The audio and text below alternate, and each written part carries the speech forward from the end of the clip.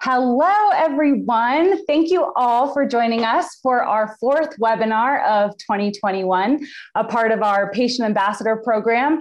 And um, we're celebrating National Kidney Month this month. So um, this webinar will be all about kidneys. Um, my name is Cece Cunningham. I'm the uh, program manager of the Chris Klug Foundation.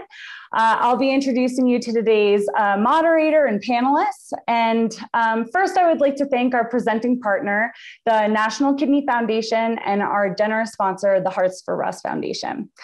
Uh, just a quick note, if you're new to Zoom webinar, you'll notice that you have a Q&A box to field questions to the panelists on your console.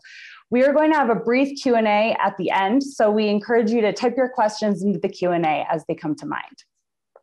Now, I'd like to introduce our panelists. Uh, first up is Dr. Robert A. Montgomery. Dr. Montgomery is head of surgery at NYU Langone Health. He's the director of the NYU Langone Transplant Institute and a world renowned kidney transplant surgeon. He is an innovator in the field of kidney transplant, having been a member of the team that developed the laparoscopic procedure for living kidney donation. Dr. Montgomery also developed and performed the first domino paired donation or paired exchange donation for living kidney donation. In addition, he is a transplant recipient himself. He received a heart transplant from a hepatitis C positive donor and actually uh, works to promote this practice throughout the world. Dr. Montgomery does have another engagement at the top of the hour. So um, you might see he's going to be ducking out about five minutes before 2 p.m. Our, uh, Eastern time, uh, which will be during the uh, Q&A session. Um, our second guest speaker is Lisa Emmett. Uh, Lisa's husband, Neil, received a successful kidney transplant through the process of paired kidney exchange, which ended up saving eight lives across the United States. Because of her experience as Neil's caregiver and support through his transplant journey, Lisa has turned toward kidney and living donation advocacy to inspire others and share her story. She currently serves as the executive director of the National Kidney Donation Organization and has shared her story on dozens of media outlets, including Forbes magazine and USA Today. She is also the author of a Time magazine article highlighting paired kidney exchange. Our third guest speaker on the webinar is Danielle Percival. Danielle is the program coordinator for the National Kidney Foundation. Um, she joined NKF in 2017 after spending 10 years with Donor Alliance as a community relations coordinator. Danielle started her career in a laboratory setting as the director of development for laboratories at Bonfils Blood Center in their HLA testing program. Danielle's current emphasis at NKF is the Big Ask, the Big Give, which are educational workshops that focus on transplant and living donation.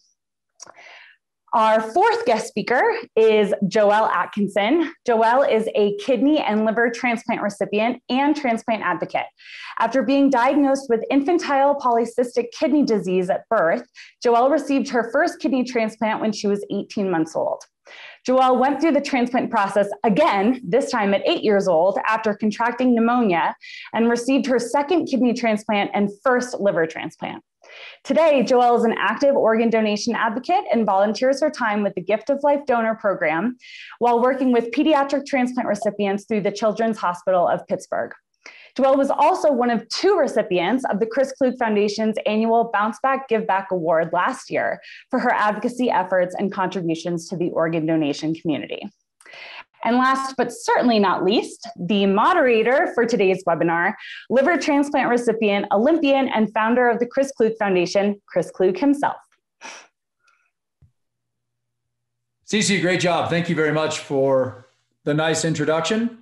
Uh, I'm honored to be a part of this. Uh, thank you for letting the liver guy uh, participate in the NKF uh, kidney uh, panel discussion today. What a star-studded cast we have too. Thanks you guys for uh, all being a part of this. And um, as MC, my job is to keep this entertaining. I'll keep the corny jokes to a minimum, but to keep this conversation stimulating and moving in the right direction. What I thought would be nice is we just start with uh, a little intro ourselves. Uh, I'll tell my story just for a couple of minutes and then uh, give uh, each of our panelists in their own words to share their story and their uh, connection to organ donation. Cece did such a nice job introducing everybody, so you got a pretty good idea. But uh, if we left something else, something out, this is your chance to share your version of the story. Again, my name is Chris Klug. I am the chairman and founder of Chris Klug Foundation, uh, which really is a uh, an obligation to be a volunteer and give back. And I joke about that, but that really was my um, my inspiration for forming Chris Klug Foundation and for uh, giving back to the transplant community. When I was on a waiting list for six years, uh, awaiting a life-saving liver transplant, I uh, said to myself and my family and my friends, I said, if I get through this, I'm going to do uh, everything I can to give back and, and help others that are going through this. And we know that's about 110,000 people uh, today. And uh, we know that uh, about 12 people a day don't get that second chance at life. And that's really what Chris Klug Foundation, that's what this uh, ambassador panel tour today is all about is uh, really educating people about the importance of organ donation, of course, about the importance of registration and helping inspire anyone going through the same thing I did uh, about 20 years ago. I've been a lifelong skateboarder, snowboarder, and uh, board sport enthusiast. Um, had the opportunity to represent our country in three Winter Olympic Games, and in 2002 became the first ever organ transplant uh, recipient Olympian and Olympic medalist. I really have always had a passion for uh, snowboarding and for winter sports. It's fun to pass that on to my kids now who are avid skiers and boarders.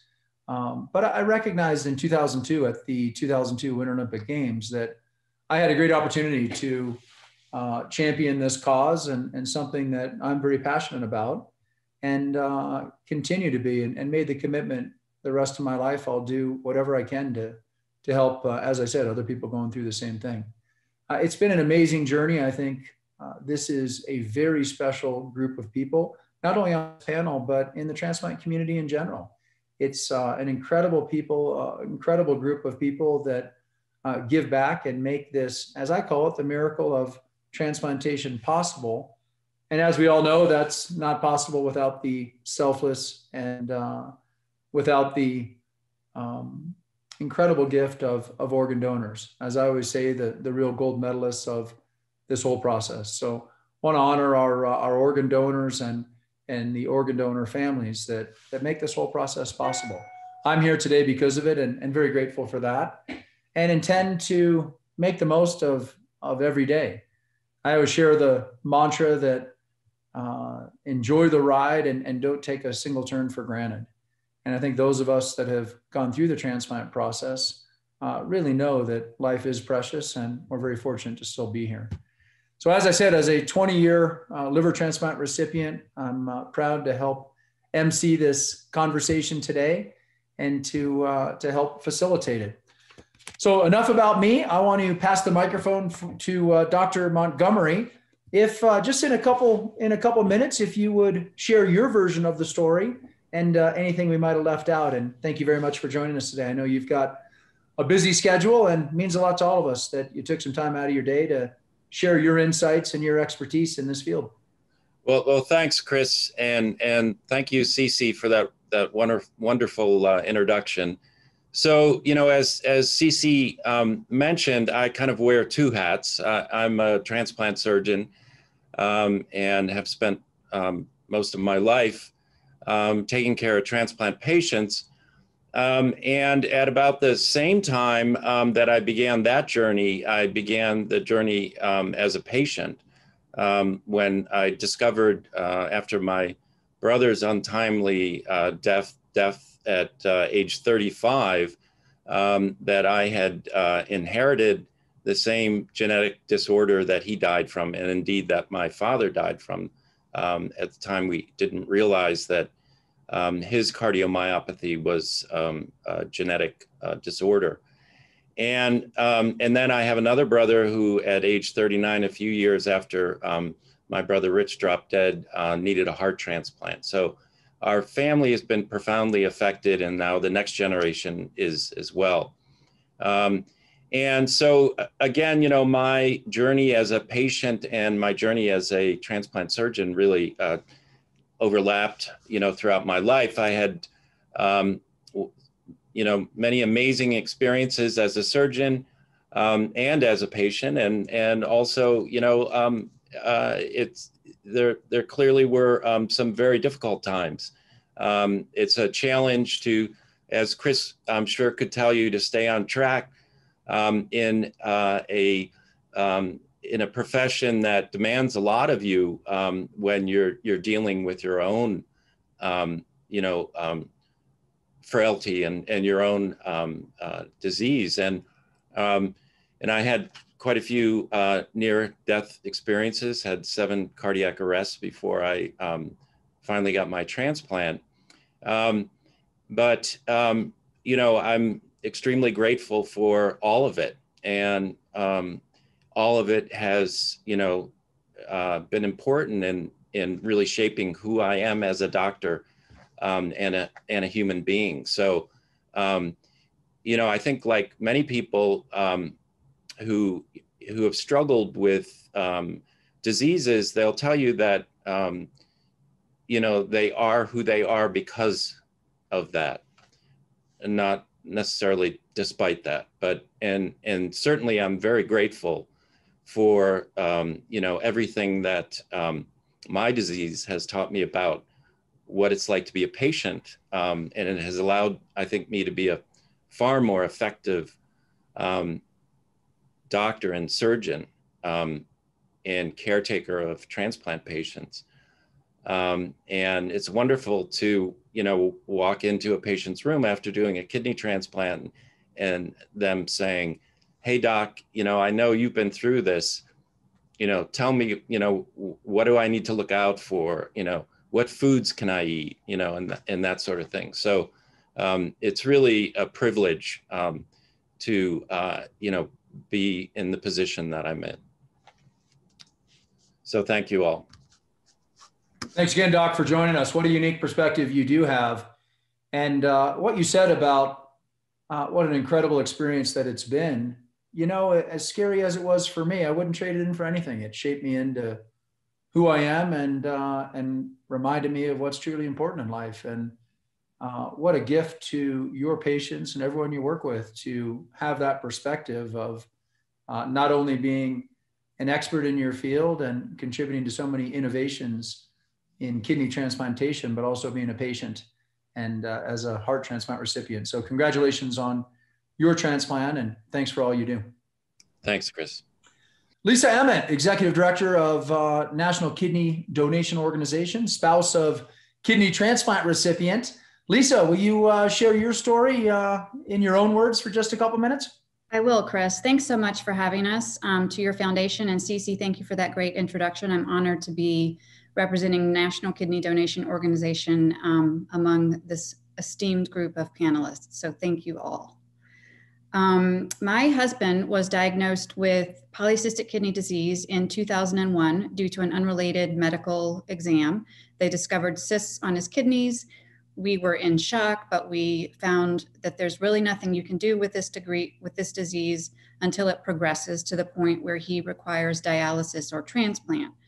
So we had 16 years of waiting for that to happen. Um, his brother had always volunteered to donate his kidney. We were very appreciative and grateful for that. Um, his brother w- went through the medical evaluation process and was deemed medically ineligible to donate. So Neil's wife, me, came through door number two. And um, I also was deemed medically ineligible to donate my kidney due to a benign quirk in my renal arteries, which does not impact my life. But at that point, it impacted my life and my husband's life in a big way because I was not able to donate. So we um, we were shocked and devastated at that point. And looking back, um, those obstacles actually served as educational tools that I use now in, in educating people about our journey because um, it, it just goes to show an, a willing donor is not necessarily an approved donor. And um, family when we had family that was deemed medically ineligible to donate um, the next best thing to do is to go out and tell the public but sometimes the recipient is hesitant to do that. And that was the case with my husband. Um, he was very hesitant to let people know that we, he was in this situation that we were in this situation. But ultimately we all decided that that was the best thing to do. So i started raising awareness on his behalf, not asking anyone for a kidney, but telling his story. And some people who heard his story happened to be two teachers at our daughter's school. And they both proceeded with being tested at Johns Hopkins Hospital. And they were both actually approved, although neither of them were HLA compatible matches to my husband. So even though they were not matches for Neil, they registered through Johns Hopkins Hospital with the National Kidney Registry and ended up donating their kidneys to strangers. And Neil ended up receiving one in return. Now, it is important to note that you really only need one donor to donate on your behalf, but these two women were determined to help, and so they allowed them to do so. That's awesome, Lisa. Congrats to you. Uh, your husband, and thanks for sharing your story. Thank you, Chris. Danielle, do you want to uh, elaborate a little bit on the great introduction that uh, Cece gave you? Again, Danielle's the program coordinator for NKF for our friends, uh, our fellow Coloradans, New Mexicans, and Wyomingans. Did I say that right? Yes, and, you did. Uh, Danielle. So Chris, I wanted to digress for just a second because you and I met way back in the day after you had received your bronze medal. You did some promotional things for Donor Awareness Council and actually February 14th and Saturn donation day. So it's nice to see you. I nice think we both have too. a few more gray hairs. A couple. yeah. It's those damn kids, Danielle. I'm telling you, they're killing me. Yes. We just added a puppy to the mix too, so I'm sure I'm uh, only getting grayer. Welcome to COVID. yeah, thank you. So thank you, Chris. Thank you, Cece, for inviting the National Kidney Foundation to participate today in this webinar. Um, I have been in the transplant community for 21 years. Um, as Cece said, I did start on the laboratory side with the HLA testing, which is matching a deceased donor with those on the waiting list. But it soon became evident to me that my passion was educating the, the public about organ and tissue donation and for them to make an informed decision not just sign up because. So that took me to Donor Alliance, where I worked for 10 years and I had the absolute privilege of working with the driver's license office employees in both Colorado and Wyoming, because as you know, that is 98% of those who designate themselves as organ and tissue donors do so at the driver's license offices and they get that cute little heart, which is now black of all things. It used to be red.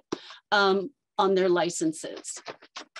And my, my work with them was just to give them um, very simple education that if someone said, oh no, I'm too old, oh no, I'm too sick, that they could very quickly give a very simple answer, but again, letting the person decide for themselves.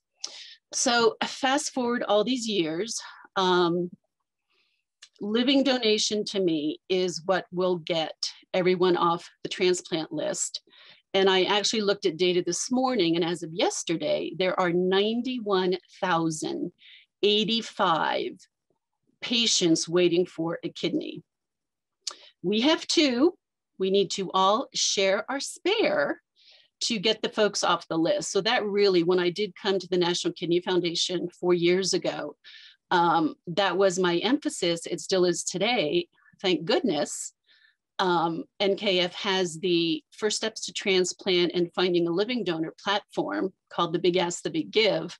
And I just wanted to echo what Lisa said about um, kidney patients who are reluctant to, number one, you know, divulge that they have the disease, but then when it comes to finding a living donor, they're very, I'll say, skeptical so that is what we have found in finding a living donor. It is for waitlisted patients, their families and friends, but it's not for the patient to make the ask.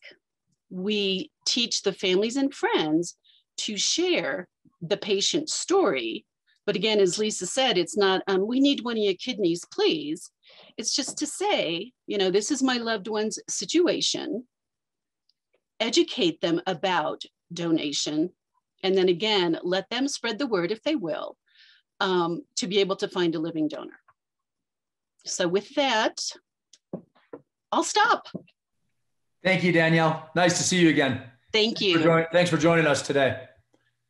And uh, finally, I want to uh, reintroduce Joelle Atkinson, who is a two time kidney transplant recipient and my uh, liver transplant recipient sister, and uh, also our 2020 uh, Bounce Back Give Back Award winner with Chris Klug Foundation. Joelle, nice to see you again. Thanks for joining us today.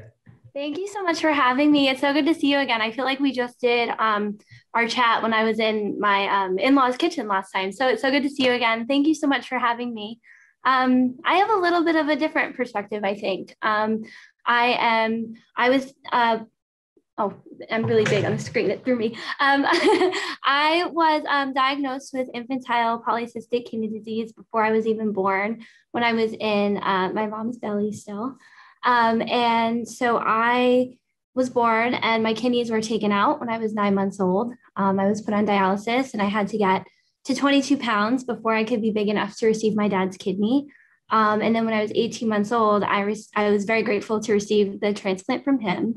Um, my mom always says it was like the toughest few hours of her whole life with my dad being under anesthesia and me being getting my transplant. So it was um, very hard for them at the time. Uh, but that first transplant kind of allowed me to, you know, live my life. I went to school, I enrolled in dance, and I was able to start growing a little bit. Um, and then when I was about six or seven, um, my liver, my disease also can progress to um, hepatic fibrosis. So um, I started to develop cysts on my liver as well, and my kidney started to go into chronic rejection due to pneumonia. So I received my second kidney and liver transplant at the age of nine. Um, I'm now 30, so it's been 20 some odd years. I also had my transplant in 1999. I think you did as well, Chris. Um, so I had my second transplant over 20 years ago, and um, it's kind of allowed me to live my whole life. Um, I graduated from high school, college. I'm an occupational therapist. You can see behind me, um, I work with kids all day. I play all day, which is the best job ever. Um, I got married last year to my husband. He's amazing. Um, and I just try to live an active life. I try to give back wherever I can. I've volunteered um, through the Children's Hospital of Pittsburgh to work with kids with liver and small bowel transplants. Um, I'm really active into fitness, and I just really try to promote um, organ donation as much as I can. So that's kind of my story. Um, and I'm just so happy to be here. Thank you so much. We're happy to have you, Joelle. Congrats on your recent uh, marriage. And I had my transplant in 2020 and you in 99. So you are technically a year older than me. I just want to point that out but a lot better looking, let's face it. All right, are we ready uh, for a few questions? I'm going to fire a few questions at everybody. Let me start with uh, with Dr. Montgomery. I promise this snowboarder is going to try to keep the uh, questions on track. And don't worry to our participants if I uh, don't ask the right questions or there's something I left out. We're going to have a little Q and A at the end. Uh, Dr. Montgomery has to uh, leave us at five till the hour. So I'm going to probably um, give you a few more questions here uh, early on, but let's get started. Uh, given the unfortunate events of the last year, have you seen or are you aware of any connections to COVID-19 and an increased risk of kidney disease and or kidney failure? If so, can you elaborate on that? Sure. So yeah, um, you know, um, severe COVID disease, you know, of the the kind that that forces you to be hospitalized and in an ICU setting, um, has about a, a 30% risk of acute kidney injury. Now, a lot of the, the COVID patients who get that sick will recover um, from that kidney disease as they recover from um, COVID 19 but a certain number of them um, are likely to go on to chronic kidney disease and, and need a transplant at some point. We're also seeing this with um, lungs, hearts, and livers. Um, we just did our first um, uh, transplant, liver transplant, um, as well as lung transplant for um, uh, two uh, patients who were recovering from uh, COVID 19. What are we seeing happening with the numbers on the on the list, Doc? Have they increased during uh, during COVID in the in the past year? Well, you know the the, the numbers on the list. It, it's it's always um, it, it's always a difficult way to gauge um, need and what I mean by that is people who are on the list are the people who have been cleared to get a transplant. And that depends on a lot of different things, including, um, you know, how aggressive the transplant centers are being about listing patients. Um, so, you know, there there was a drop in the number, total number of patients waiting for transplants over the last couple of years, and and people were really happy about that. But of course, me being a skeptic, you know, I've asked the question of my colleagues: Is it that we're becoming more conservative in who we list? So I'm not sure that that's always a great, you know, representation of what's going on, but I think we will certainly for um, lung transplantation over the next few years see an increase in patients who need lung transplants because of uh, COVID 19. Good point. Thanks, Doc. Some of the hospitals ceased doing uh, solid organ transplants during COVID. Uh, how did you manage that at NYU? And uh, love to hear you know some some insight on that experience. Yeah. So so that was you know of course you know we were um, at the epicenter and um, during the surge um, this time last year. And um, things were changing every day. And what i would tell my team um, during you know our daily meetings was we have to decide moment to moment about the equipoise, which is a term that we use in medicine, which means sort of the balance of risks and benefits. The equipoise of continuing to transplant patients versus waiting until there's some relief, um, you know, for this surge because our hospital was filled, our ICUs were filled with um, COVID-19 patients. Um, and we had some patients, you know, trans- fresh transplant patients who were getting sick we had surgeons and physicians who were getting COVID 19 all at the same time in, in early March. Um, and there we did reach a tipping point, um, you know, in um, early April where we decided that it was just too risky for our patients to um, undergo new transplants because the mortality rate at that time for a transplant patient who was symptomatic with COVID 19 was 20% or higher. So it was hard to justify, um, you know, doing new transplants in that setting until we were able to do them safely. And we really were thinking on our feet every day and developing new pathways, ways, COVID free pathways through the hospital for our patients. And once we were confident that, you know, we had that level of safety, we started um, doing transplants again. Good for you. I'm going a little off script here, Doc, but one more question. How are your uh, patients that have received uh, the vaccination, how are they doing? And any, uh, any negative reactions uh, yeah. or, or, common denominators that you're seeing? This is a great question, um, Chris, um, and a really important one for the audience. This is news that's just kind of breaking, you know, as we speak. Um, so, of course, um, you know, as a frontline healthcare worker, I was one of the first um, transplant patients to um, receive um, one of the mRNA vaccines um, because you'll remember that the original trials that were done did not include transplant patients, did not include immunosuppressed patients. So we really had no idea what was going to happen. Um, the good news is it appears to be safe. So we we um, there's information coming out from a registry that was started by Johns Hopkins um, that's tracking um, several thousand patients, and um, they don't see any increase um, in side effects from the vaccine itself. The bad news is that people who are on immunosuppression are not responding in the same way as the subjects in the original pivotal trials. And um, about half of them are not developing um, antibodies, and um, about 80% um, of them are not developing the antibodies at the time that you would expect them to after the transplant.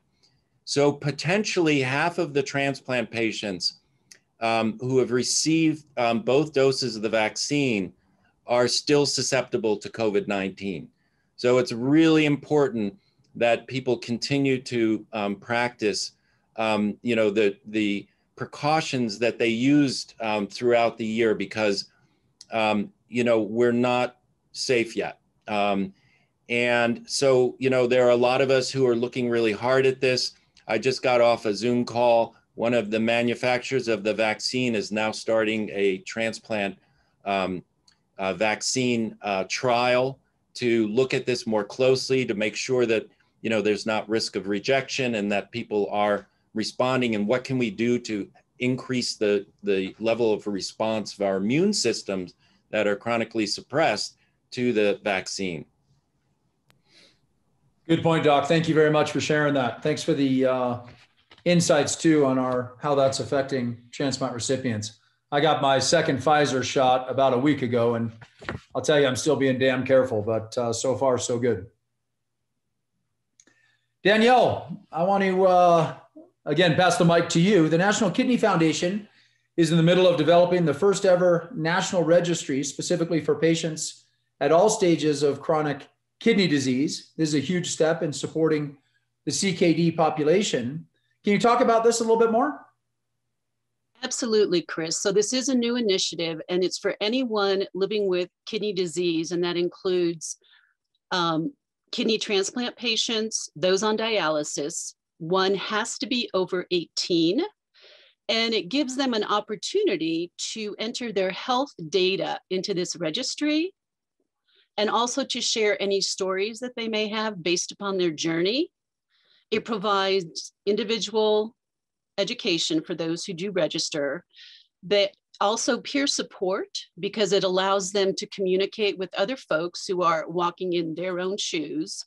Um, and then the other point that we were trying to make is it's an easy way to get involved in research and innovation and have access to clinical trials, which we know that there are 37 million people out there who have chronic kidney disease, which is one in seven. Unfortunately, diabetes and hypertension are responsible for two thirds of that number, which is 24 million people. So there are tons of folks out there, and this is a way to, you know, make them be known to us, to the researchers, to, you know, for more clinical trials perhaps to be developed based upon um, their renal journey, if you will.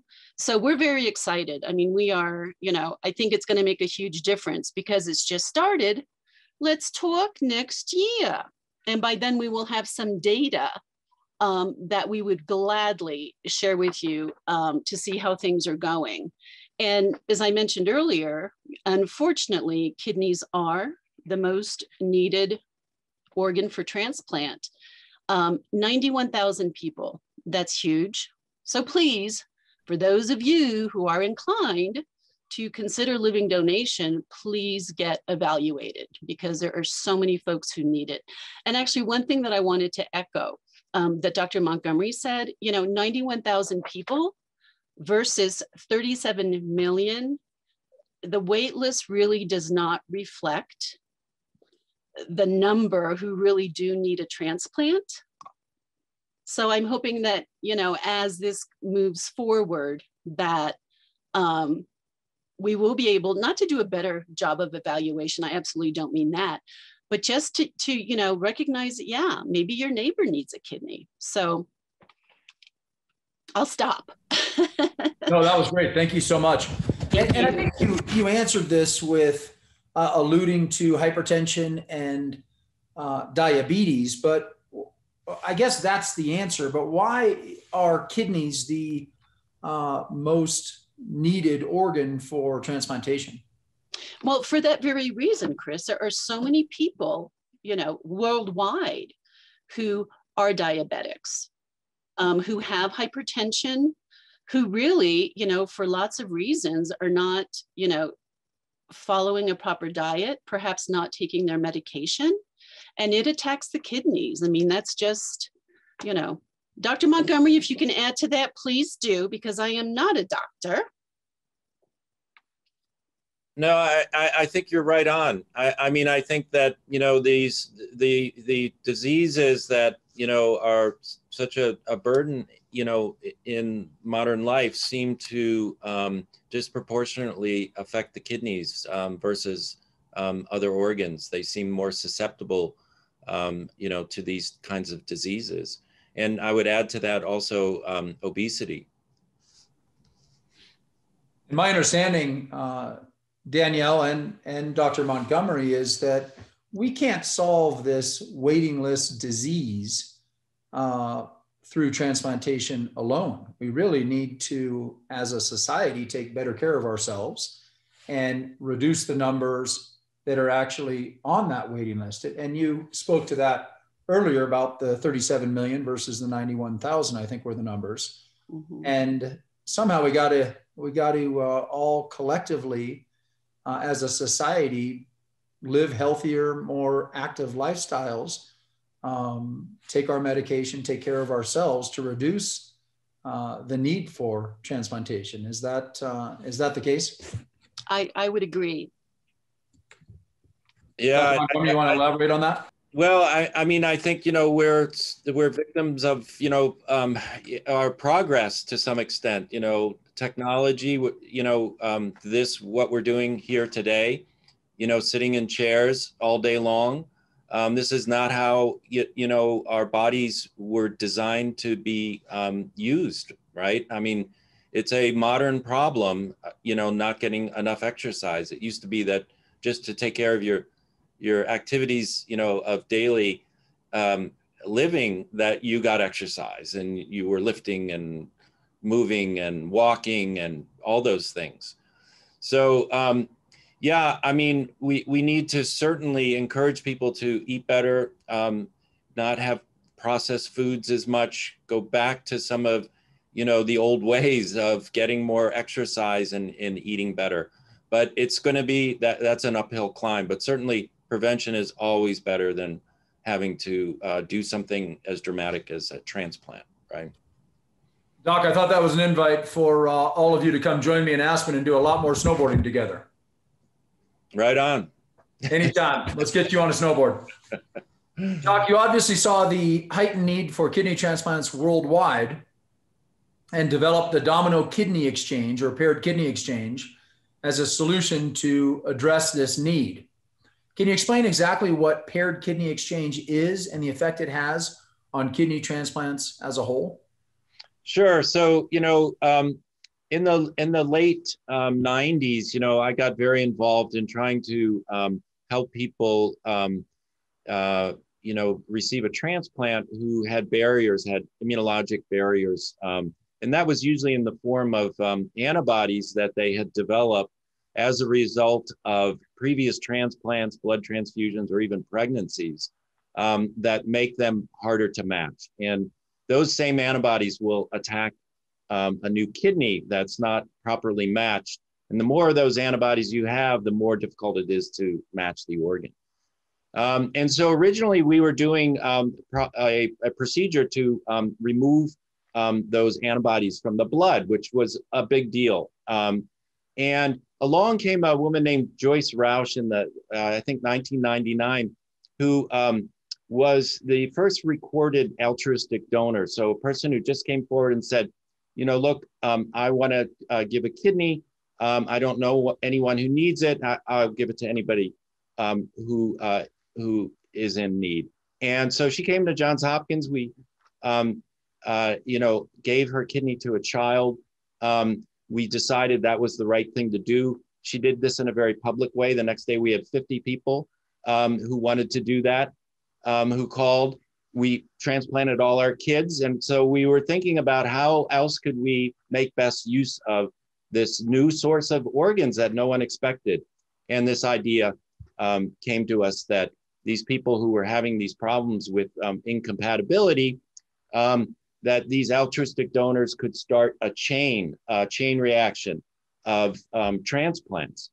And um, the National Kidney um, registry then took that idea and and and and really um, you know uh, developed all the infrastructure to support that. And now, guess what? A thousand transplants every year are done because of um, these uh, kidney swaps.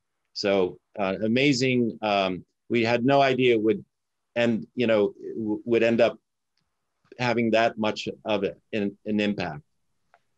Doc, when the first altruistic kidney donor stepped forward and said, "I'd like to donate a kidney," were were you and the team sort of scratching your head, saying, "Really?" At first, or oh yeah, oh, yeah, believe me, she saw more psychiatrists and you know um, ethicists, and this was a big deal. And in fact, believe it or not, in order to start doing these swaps, um, you know, on a, uh, a, a, a, larger basis, because we were just doing them, you know, at um, at Hopkins at the time, we had to change the law.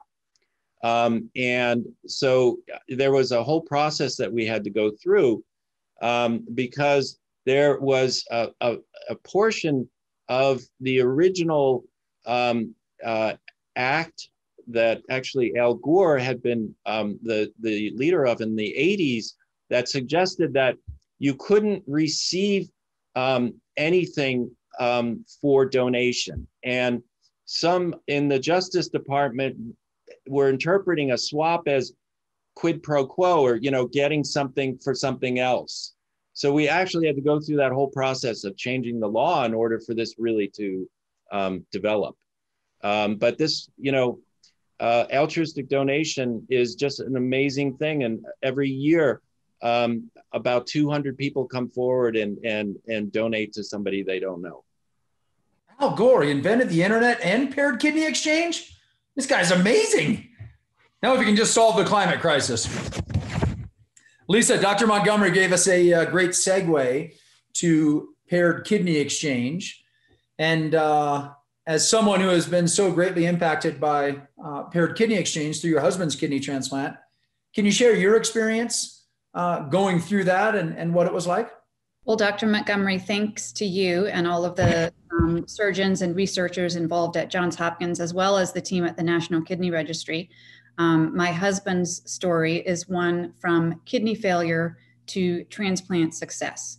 And I was explain they explained to me early on in the in the my husband's process about the option of paired kidney exchange after his brother was ruled out and I was behind door number two um, they just, even though my husband and I are blood type compatible, they took one look at me and the size of my hus- husband and they said, There's no way your tiny little kidney is going to be adequate for a man of his size. He's a really big guy. And so it just goes to show, even if you have the same blood type, it does not automatically mean it's a home run for compatible kidney. So they mentioned that to me um, at the beginning, and I was you know, informed that they operate with the National Kidney Registry and that we would have access, or my husband would have access to a nationwide pool um, of donors from over 100 transplant centers. And really, they were able to select the best matched kidney for him when the donor ultimately donated on his behalf. And he received a kidney from a stranger at UCLA, and it was flown on a red eye to Johns Hopkins. That's great. I love it. And and how did you first learn about it, Lisa? Paired kidney exchange? Yes. So we knew going into his um, evaluation that paired kidney exchange would be an option. And I just, you know, thought, okay, donor A is in a, hosp- a hospital room down the corridor and they take the kidney out and switch it around. I had no idea that um, because we selected Johns Hopkins and because they're affiliated with National Kidney Registry, I had no idea that we would have access to a nationwide pool of donors. And I really strongly believe that that is um, one of the ingredients to our success. That's great. Well, I'm happy for you and your husband. Congrats. Joelle, as a two time kidney recipient, you've experienced kidney disease and the effects of kidney failure multiple times. Can you elaborate on the steps you take uh, daily to maintain uh, good kidney health uh, in your daily life? Sure. So um, I just also wanted to say that I'm learning so much today. This is super informative for me as well. Um, so every day, um, it's kind of it's super interesting because I feel like um, COVID nineteen is so present in everything that we're doing now. Um, so I feel like what I would normally say would be I live a very active life. Um, I try to, I have an active job. I drink a lot of water.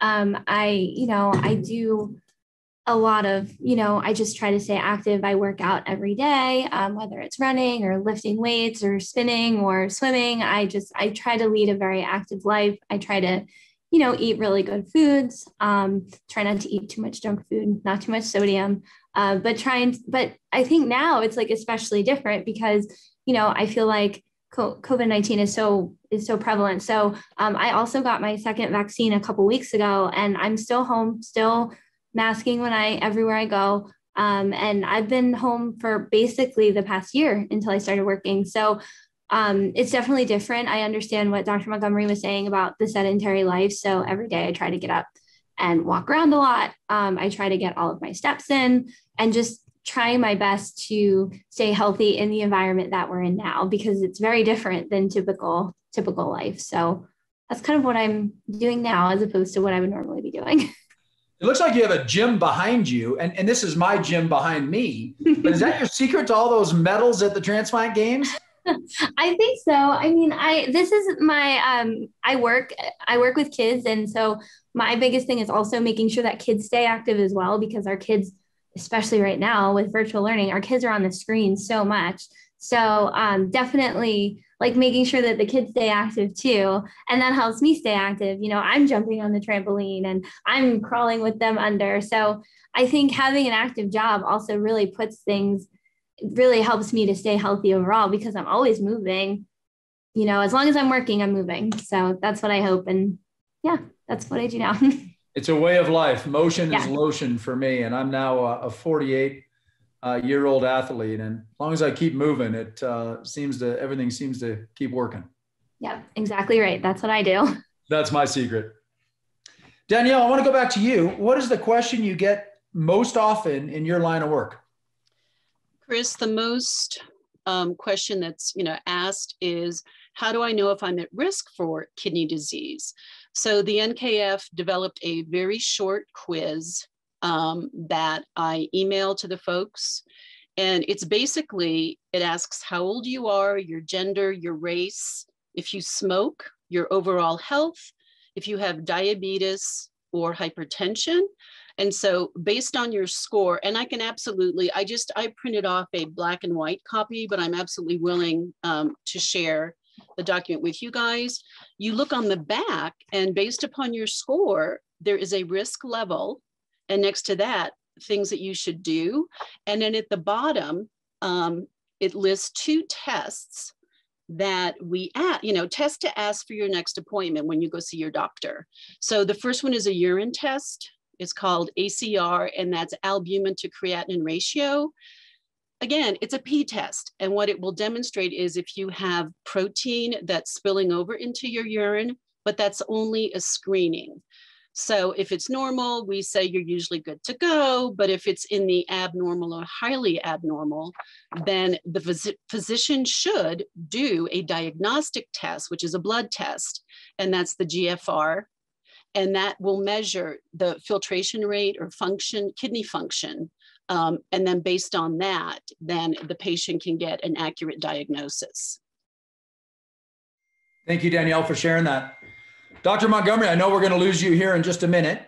And uh, so I want to come back to you. And Lisa, you're not off the hook. I've got a, uh, another question for you too before we open it up to uh, our participants for any other Q&A. But uh, Dr. Montgomery, I want to give you a chance uh, for any closing remarks but before I do, I've got a very important question for you. We have come every fall since my kids have been alive uh, to run the New York City Marathon. And oftentimes we come and visit NYU and, and see you and your team and uh, get a chance to visit patients uh, in person. Obviously, that hasn't happened in the last year. But are we going to be back for the New York City Marathon this fall? Is that going to happen? Are things going to look a little more normal this fall? And uh, what's your what's your prediction?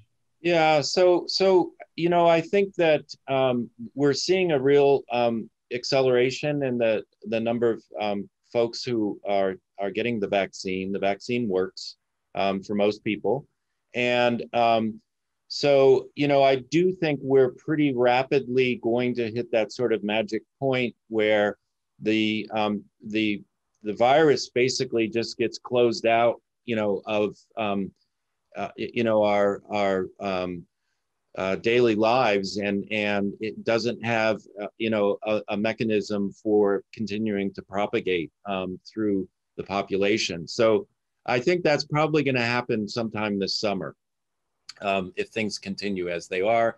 And if some of these variants um, don't um, you know uh, come through and as sort of an escape virus that you know um, is is not covered by the vaccine. But that's being watched very closely. So um, so far so good on that.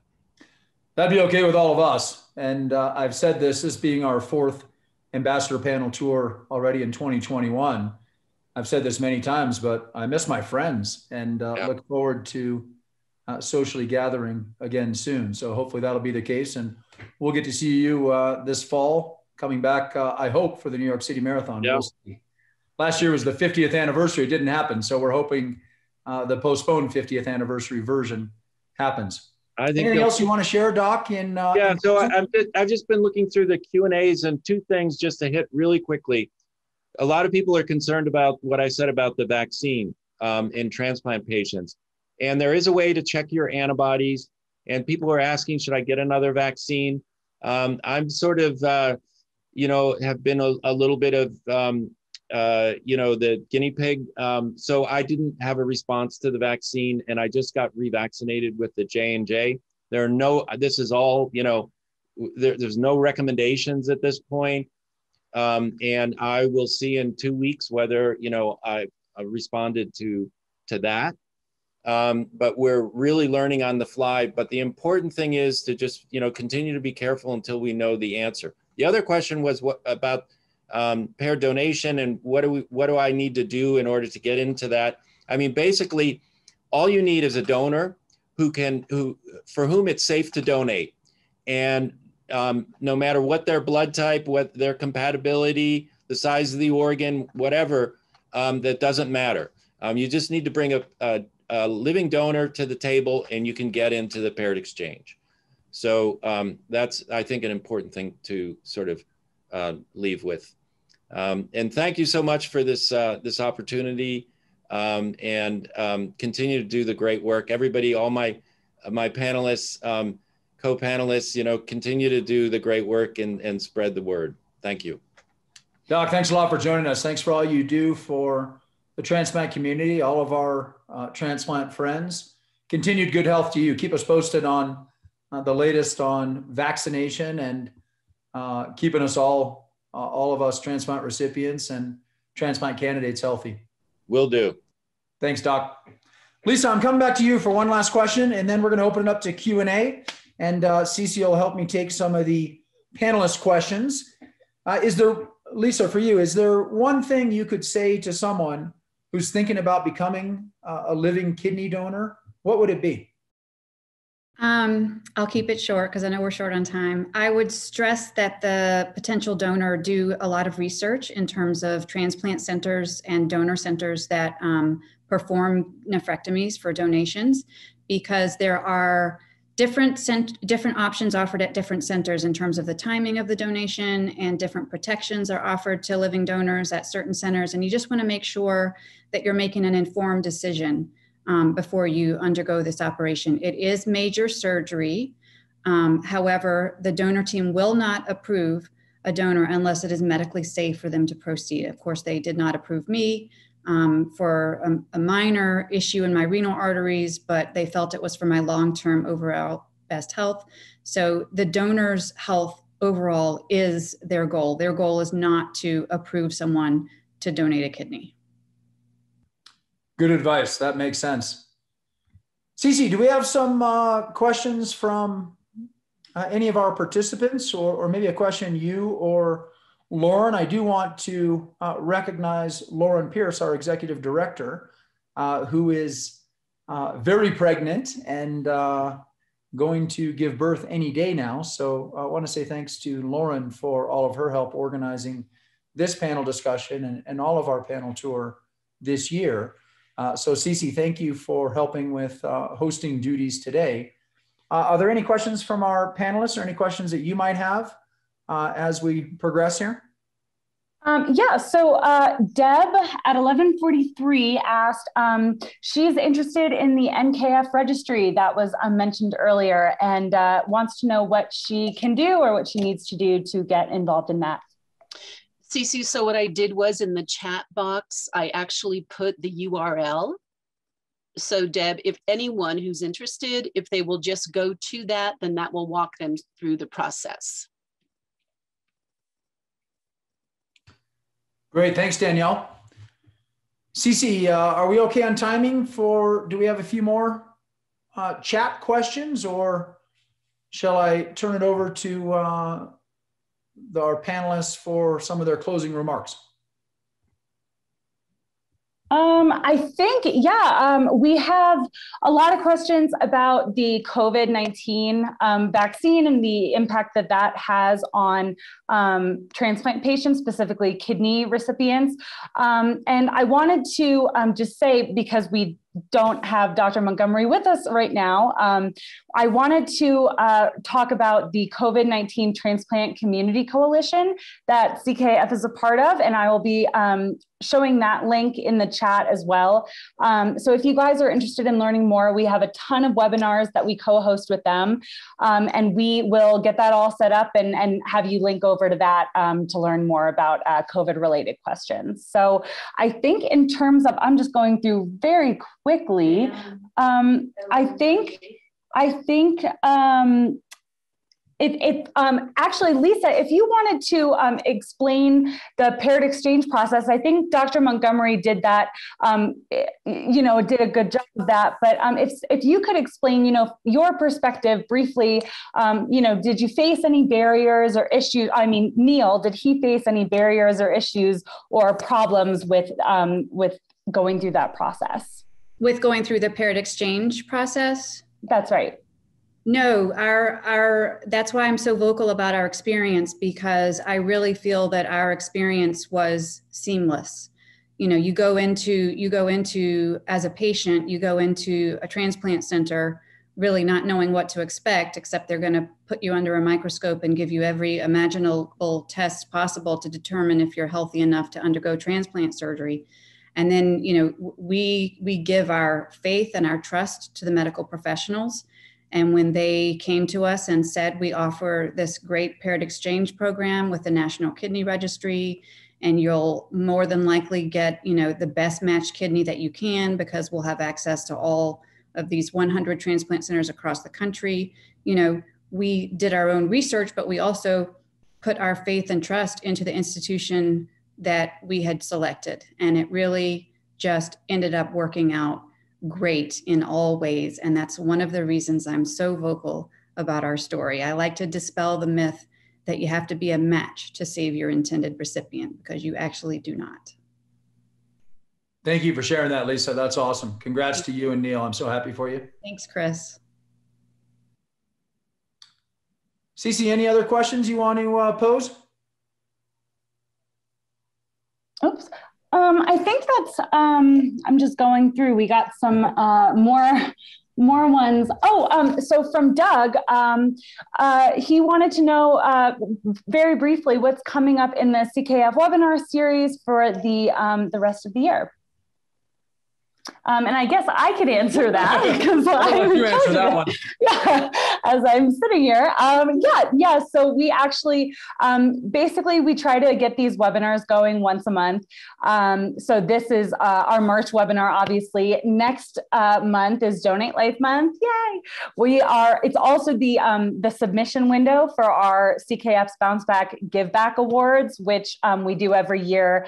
it basically it honors two organ transplant recipients who demonstrate an extraordinary way of life post transplant. So, you know, giving back to the community and also bouncing back uh, from transplant. Um, so we we uh, award those those two transplant recipients each year, and actually our next webinar coming up in April, April 13th, will focus on you know the our past uh, bounce back award winners and um, you know their stories and sort of explain more personal experiences of what those um, those awards entail um, so i guess um, i'm trying to quickly briefly go through these um, but I think that's pretty much um, uh, it for for today.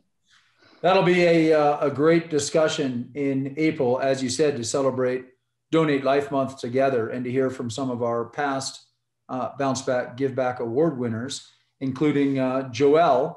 Uh, and Joelle, we are going to bring you to Aspen for, uh, for the Summit for Life. Uh, we couldn't last year with COVID. It was a virtual event and still a great success, but looking forward to seeing you in person. Thanks, Cece.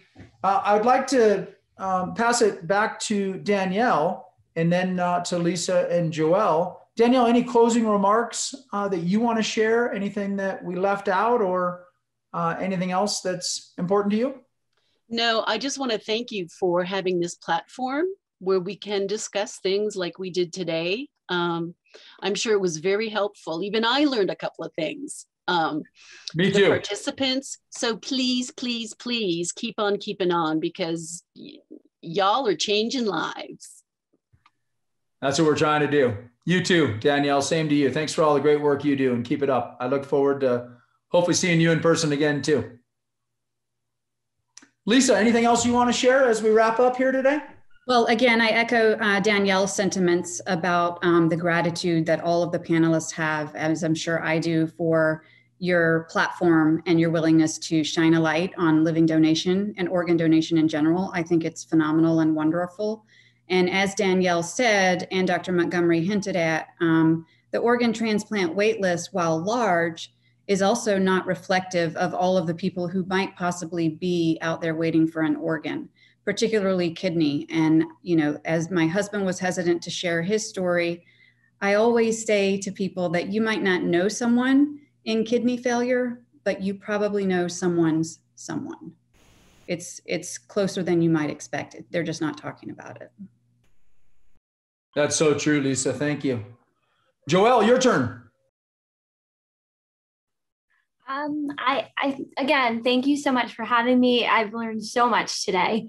Um, it's been really, really awesome to to learn so much. Um, and again, like we had talked about, um, the the active so if you're waiting for a transplant or if you if um, you're a recipient we live very sedentary lifestyles right now so definitely staying active and staying moving as much as possible um, to try and stay healthy because that's kind of my my big goal in life is to stay healthy and to keep paying it forward so thank you again so much for having me you bet joelle nice to see all of you guys, uh, at least on Zoom for now. I look forward to gathering in person, hopefully in the next year. Thank you for being a part of this. Thanks for uh, everything that, that all of you do. Um, th- this is such a privilege and an honor to be a part of this. And thanks for putting up with my uh, narration and uh, MC duties. But it really is a privilege and, and a uh, a labor of love to be involved in this foundation, to be involved in this cause. And, and listen, we're uh, a small part of it, but uh, I think tr- trying to have fun and, and do what we love to do and share this important message. So thank you all for agreeing to be a part of it today. Cece, thanks for uh, organizing this. Thanks to Lauren. I want to say thanks to our partners at NKF for uh, being a part of it, as well as Hearts for Russ uh, and supporting us. And, and thanks for everybody pivoting and, and keeping an open mind uh, with what's happening still in the world. We're starting to see light at the end of the tunnel, but thanks for joining us in, uh, in this Zoom format. Yeah, thank you, Chris. And again, thank you to everyone who joined us today. You know, we hosted this webinar today to highlight the vital role that kidneys play in the human body um, and to shed more light on the ways in which kidney transplant um, has improved over the years. So if you have any questions that weren't addressed or answered in today's webinar, please do not hesitate to contact us. Um, our email is info at chrisklug That's Chris, K-L-U-G, foundation.org. Um, we've included that email in the chat, um, as well as several other links um, that you can uh, check out for your reference. So we have, um, you know, the COVID-19 Transplant Coalition resource um, that, that uh, I discussed a little bit, the NKF patient um, registry, uh, tons of uh, Lisa's organization, the National Kidney Donation Organization, all of those are linked in the chat. So if you guys have any more questions, please um, don't hesitate to reach out and uh, check out those, uh, those links if uh, you're interested. So um, yeah, so if you'd like to learn more about becoming a living kidney donor, you can check out the National Kidney Foundation or the National Kidney Donation Organization's website uh, for more info. Um, also, uh, like I said, April is Donate Life Month, yay! So um, to showcase this special month, CKF is encouraging everyone to get involved by hosting an event or webinar with us.